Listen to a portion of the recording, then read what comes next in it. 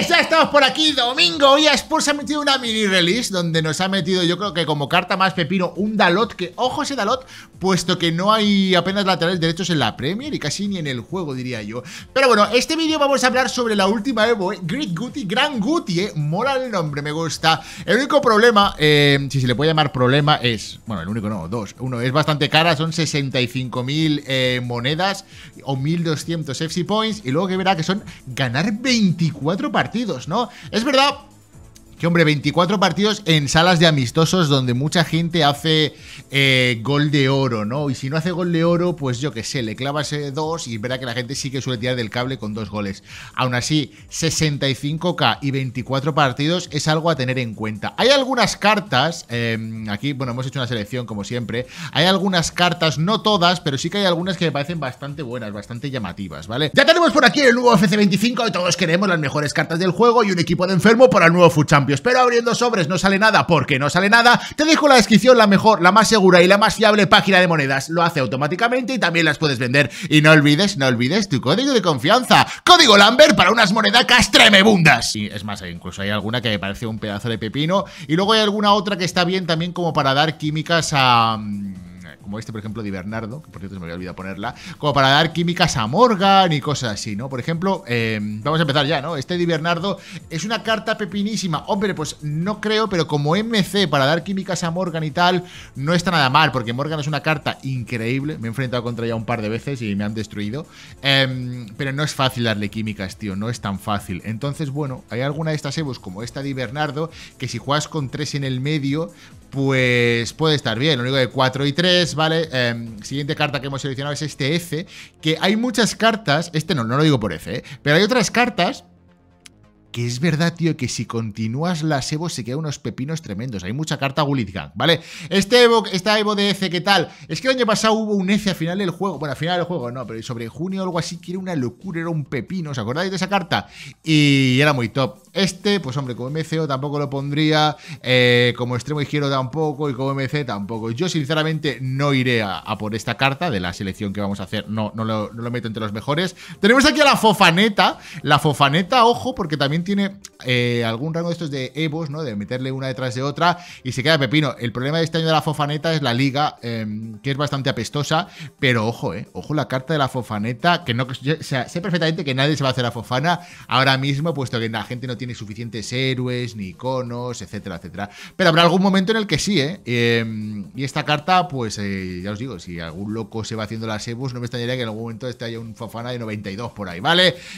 siguiente opción, esta también para darle químicas a, a, los SBCs que salieron ayer. La Bonta, bueno, yo que sí, yo sinceramente si tenéis que hacer alguna de estas cartas para darle química a Morgan, eh, iría antes a por esta que a por la anterior que hemos visto. Esta la Bonta no la veo nada mal, tío, como MC. 3 y 3, sí, sí, es verdad que la de Intro Stats no la tiene todo el mundo, se quedaría más o menos así, em, pero, pero vamos a ver que no, no hay ninguna diferencia, ¿no? Más o menos es, lo mismo. Em, y no me parece mala carta, repito, por ahora estamos viendo cartas para dar químicas a SBCs, que es bastante importante. Ya os digo que no es fácil darle químicas a esa Morgan siguiente es Otavio, que misteriosamente creo que hay gente que está tirando bastante por, estos, por este Otavio en diferentes Evos, ¿no? Em, tanto en esta como en esta, no sé, he visto mucha gente diciendo Otavio, Otavio, no sé, me parece un poco raro. Es verdad que para darle químicas a, mm, yo qué sé, pues a Neymar o a jugadores así, pues bueno, no hay muchas opciones ahora mismo. Yo no iría por eso, Otavio. Sinceramente es una opción que, que, descartaría. Y luego vamos a empezar ya por cartas bastante mejores. Caicedo. Bueno, habría que verlo, tío. Es una carta que como MCD habría que ver qué tal. In-game no tiene pinta de moverse nada mal para eh, para un MCD es verdad que no es muy alto, mide 1,78, el tiro ya otro mes, el pase me parece muy pepino, 94 de pase se nos queda y 92 de pase largo, eh, y creo que es una carta que, bueno, se puede tener en cuenta, no me parece tampoco de las mejores, yo si lo vais a hacer no iría por este Caicedo, pero no se queda nada mal. El siguiente Enzo, carta que le gusta mucho a la gente y carta que, ojo, sí que hay que hablar de este porque tiene playstyle de pase. Em, si la gente está usando eh, a Bruno Fernández, este Enzo, estoy seguro de que hay gente que se lo va a hacer. ¿Por qué? Repito, porque tiene el playstyle este que está. Ya sé que no, no va igual, etcétera, etcétera, pero la gente lo sigue utilizando, ¿vale? 3 y 4, no se mueve mal, la defensa, yo creo que es aceptable, el físico también, em, pero muy buen pase, tíos. Me hace el pase largo que se le queda 93, 91. Yo creo que esta carta, aparte, tiene bastantes buenos roles, ¿eh? eh le queda plus plus de playmaker, tiene el box to box, tiene el holding, es una carta que da buenas químicas, tiene muy buenos playstyles. Em, y 76 de ritmo este año, tíos, es aceptable. ¿Qué queréis que os diga? Quizá alguno me dirá la defensa, que tiene solo 73. Bueno, bueno, sí, pero como hay tanta defensa automática, pues ¿qué queréis que os diga? O sea, tampoco hay ningún problema, ¿no? Ya digo que va mucha gente jugando con Kevin De Bruyne de oro, con Bruno Fernández y con cartas así. Y ya os digo que le roban balones y no van nada mal. Así que este Enzo Fernández creo que tenéis que tenerlo en cuenta, sobre todo porque tiene el, long ball este eh, de playstyle, ¿vale? Siguiente carta, que para mí es la mejor y creo que está extinta, es este Joelinton, que es una locura. esta carta es un desfase.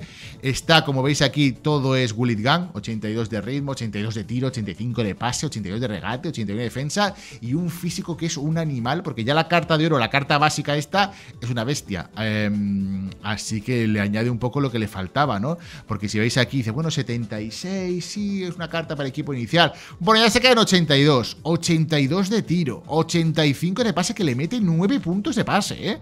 Y luego defensa le mete un puntito, y, o sea, perdón, defensa y físico no le mete nada, pero es que tampoco lo hacía mucha falta. a esta carta, el tema es que para mí a Joelinton la Evo le viene de locos, puesto que le mejora exactamente lo que le hacía falta, ¿no? Que son estas primeras, cuatro, eh, estas primeras tres stats, ¿no? Se queda que flipáis esto, ¿eh? Se queda absolutamente de locos con 93 de pase corto, 87 de pase largo. Es verdad que eh, el efecto aquí no es el mejor, eh, pero me da igual. O sea, esta carta como MCD en Premier, o bueno, MC en Premier, me parece una locura. Mide un 86, es gigante, se mueve bien y físicamente es muy, muy, muy top. Repito, creo que esta carta ahora mismo está extinta casi, ¿no? Lo acabáis de decir. No sé si ha subido y ha bajado, pero pero bueno, para mí, ya os digo, metiendo un poquito de spoiler, que fácilmente esta es la mejor opción de todas. El siguiente vamos a seleccionar a Isco, bueno, hace un poquito la gracia, ¿no? Porque yo creo que a nadie le importa, absolutamente a nadie le importa esta carta de Isco. Eh, Sergi Darder, carta infravalorada todos los años, ¿vale? El muñeco está cheto, ese es el mejor. Sí, sí, sí, estoy de acuerdo. Esta carta está chetada, el muñeco, la carta base es la mejor de todas y la Evo está muy pepina, ¿vale? No digo que esta carta en el mercado, esta de aquí, la de 85 como está, eh, si estuviese ahora mismo en el mercado costase un millón de monedas, pero, pero esta carta estaría cara, o sea, esta carta no costaría 20k, ya te lo digo. Eh, como está el juego y demás, no costaría 20k ni de broma. Siguiente Sergi Darder, bueno, sinceramente no iría por este Sergi Darder, pero creo que es otra carta que las de oro eh, siempre, se, siempre se infravalora. La siguiente es Soboslai, que al revés, igual que Darder creo que está infravalorado, normalmente Soboslai está eh, sobrevalorado, ¿no? Pero además es que esta Evo simplemente, como ya tiene el ritmo máximo, eh, tiro le pone dos puntitos más, pase cuatro más, pues es que tampoco, ¿no? Sí, un poquito más de defensa y ya está. Pero yo para este Soboslai no iría porque no lo acabo de ver de MCO. De MC, bueno, bueno. Eh, bueno, no sé. Vale, eh, yo no iría por este Slide. El siguiente que vamos a seleccionar es Love to Chick. Para mí, la segunda mejor carta de todas, puesto que te da químicas tremendas. ¿Vale? Eh, químicas tremendas. Y además es una carta que el muñeco también está chetado, ¿no? Es verdad que si te haces la inicial, se queda así, 83, 77. Eh, o sea, perdón, la de Grid Guti, 82, tal. Lo que pasa es que hay algunas, como este Love to Chick, estoy seguro que muchos habéis hecho esto, ¿vale? Estoy seguro que muchos de vosotros teníais esta porque, porque se extinguió, esta carta de Love to Chick quiero recordar, ¿no? Entonces, ahora mismo que todo el mundo lleva a Barán y todo el mundo lleva al Turán SMC y al Turán delantero, Dios, esta es una opción tremebunda em, para darle más química y encima hacer un poco de nexo con algunos jugadores de la Premier, ¿no? A lo mejor con un Joe Gómez, con un Walker, con el Sterling que ha salido hoy, que subiremos review a modo eso rápida y fresquísima en un rato. Em, así que esta carta está muy pepino, tío. 4 y 4.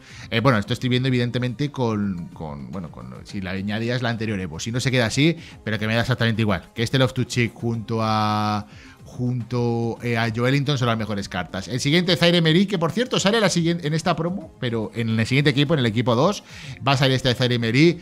Bueno, yo creo que le faltan muchas cosas, se queda en tierra de nadie, no iría por este Zaire Emery. Tenemos a Joffrey con Dogbia, que claro, si le has metido todas las Evos, se queda un pepino de locos. Pero yo creo que muy poca gente le ha metido hasta aquí. Hombre, evidentemente, si le habías hecho estas dos, pues yo le metería la tercera y si te queda una carta, una carta bastante, bastante top. Si no, no iría por este con Dogbia. Es verdad que, hombre, en la Ligue 1 bueno, no se llama Liga, bueno, sí, ¿no? Liga, Liga McDonald's, eh, ya no hay muchas cartas, no se ve tanto, ¿no? No sé que tengas a Dembele y ya está, o el Marquinhos nuevo que te ha salido, nadie va con esa liga, ¿no? Eh, y este con Dogbia no está mal, pero para mí se queda por detrás de las anteriores. Tenemos a Gravenbergs, que, hombre, yo me quedé, iba a haberme hecho esto y me quedé a mitad y dije, qué pereza. Y ahora mismo, pues, hombre, no hubiese estado mal, ¿no? Meteré un Gravenbergs así. De todas maneras, igual que digo que Joelinton es una carta que su muñeco base está chetado, yo creo que Gravenbergs es al revés. Una carta que su muñeco base es un mojón. Así que no sé hasta qué punto este Gravenbergs. Porque mucha gente hizo estas dos Evos y luego se ha quedado en tierra de nadie, ¿no? Este Gravenbergs no se ve nunca. Em, entonces no lo sé, pero una vez más, repito, si te habías hecho las dos anteriores, pues haz la tercera, ¿no? Más cartitas que tenemos por aquí seleccionados. McKenny. Bueno, McKenny, ojo, ¿eh? Ah, otra carta de esas es que el muñeco base está cheto. Se mueve rapidísimo siempre y va volando. Em, y encima lo hemos puesto porque te da químicas. Ojo, con Te da químicas también con Barana al ser de la serie A y te da químicas con, eh, con Morgan. Así que bastante pepino. Esta carta de McKenny, y repito, siempre va bastante bien de MCD, ¿vale? Aquí veis que, verdad no tiene los mejores playstyle, tiene, tiene el Roll Plus de MCD y el Roll Plus Plus como de, no, de box to box, sino de jugador ahí en el medio del campo, ¿no? Eh, siempre me gusta esta carta, y repito, muy pero que muy buenas químicas. Luego tenemos por aquí a Maino, que esta carta sí que también se la hizo un montón de gente. 100% vamos a ver este Maino, sobre todo de gente de la comunidad inglesa, porque se lo hizo un montón de gente. Otra carta que creo que estaba, vamos, carísima en su momento bueno, carísima en su rango de precio, ¿no?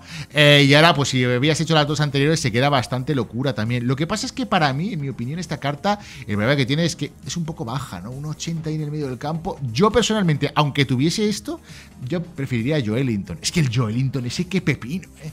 ¿eh? Y luego dos opciones muy guapas. Voy a dejar la última que me mola mucho. Este Cone, que está bastante bien, la verdad, se queda muy buenas stats, pero yo creo que nadie em, se ha hecho estas Evos. Y entonces, bueno, para hacerse la normal, yo sinceramente la descartaría, ¿no? Simplemente con lo de Guti, yo este con él no haría. Y la última que hemos seleccionado aquí es la de Renato Sánchez. Ojo, eh.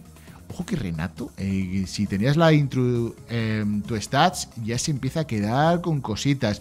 Una vez más, el problema de Renato es que no tenemos cartas de promo del típico Di María enfermo o algo así. Sí que hay por ahí un central, Gonzalo Ignacio o algo así, que está bastante pepino. Es una carta 100% usable en un equipo de Food Champions. Y hombre, por ahí puedes tirar, ¿vale? Por ahí puedes tirar. Si no se queda así.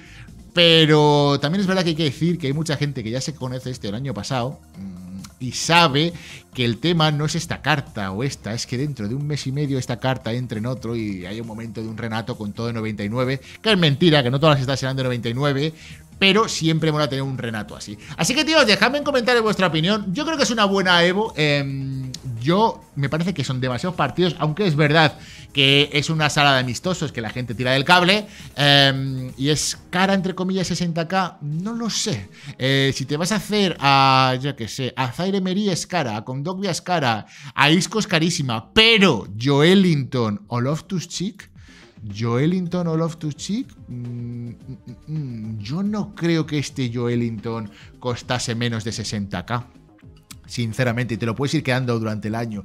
También depende de la moneda si tienes. La me tengo 70k, me gasto todo mi presupuesto en este Joelinton, pues te diría que no, ni de broma. Pero yo esta carta por 60k, yo creo que en el mercado sería más caro, tío, sinceramente. Esta carta es buena, el muñeco está chetado, es un animal, es Gully Gang. Así que ya depende un poco de tu presupuesto y lo que te guste. Dejadme en comentarios qué opináis de esta Evo, si la habéis hecho, si la vais a hacer. Y nada, chavales, nos vemos en el próximo vídeo, en el siguiente directazo.